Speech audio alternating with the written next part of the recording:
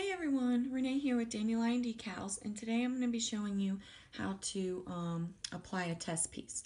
Now we send test pieces out upon request along with color samples for free and we also send a test piece with all of our orders so that if you've never tried decals before you can use your test piece to kind of become more familiar with it and just get comfortable. So I'm going to show you all the parts of a decal. This top part that you can see your decal through is the transfer tape. And that the bird under there would be like the vinyl. This gridded backing paper is the backing paper. Now to apply your test piece, um, I like to either rub my decals with my fingers, like this one's small, but your order will come with an applicator, so that's what you'll use for your large decals. So I'm just gonna rub this to make sure it's sticking to the transfer tape. Sorry if you can hear my dogs in the back. and you want to flip it over. You want to remove the backing paper from the transfer tape. So I'm just going to kind of pick a corner here. Get them separated like that. Then I'm going to hold this corner and I'm going to pull back to show the decal. Then I'm going to flip it and apply it. And again, you can use your fingers or you can use your applicator. I'll use my applicator. Just get that rubbed down. There must be someone at the door. Dogs are going crazy.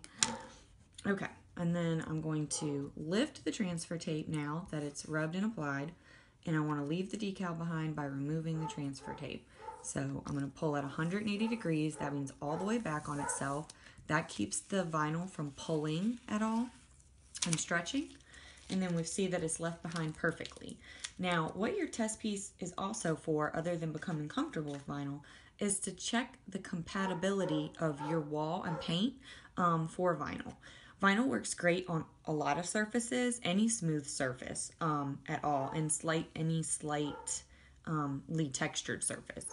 But VOC paints, no VOC or low VOC paints don't work well with vinyl You'll know if you have that kind of paint because the test piece would repel and not want to stick to the wall. And that would mean that you probably have a low VOC or no VOC paint on the wall, um, which those are the no chemical um, or low chemical newer paints that are on the market. Um, so once your test piece sticks properly, then you're good to go. And if you want, you can just remove it from the wall so it doesn't have to stay there. You'll just lift a corner and peel it right up and then get any little things left behind. Now, if you'd like to keep watching, I'm gonna walk through some of our color choices just so you can see them because online they tend to look a little different. So this is just black. This is our green. I like the green. This is beige.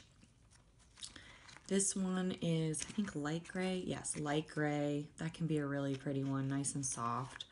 Um, this is persimmon. It's actually lighter than regular orange. It's a nice soft orange. I like that one a lot. Pink is really popular. Nice bright color. Yellow. That's one of my favorites. So fun and happy. This is violet, kind of like a nice dark purple. This is geyser blue. That's a fun one. I love that. Um, this one is lavender. It's just a lighter purple. Lime green. This one is our um, dark blue or navy. That one's really popular. That was actually the color of the test piece that we applied. Um, this one's gold. It actually has a slight shimmer to it. This one is the regular orange, so it's a little brighter than the persimmon. Dark red, which is always gorgeous bubblegum, a nice lighter pink. This is the warm gray. Warm gray is really pretty too. And then this is the, like, I think this is regular red. Yes, regular red. Um, this is turquoise blue. That one's pretty.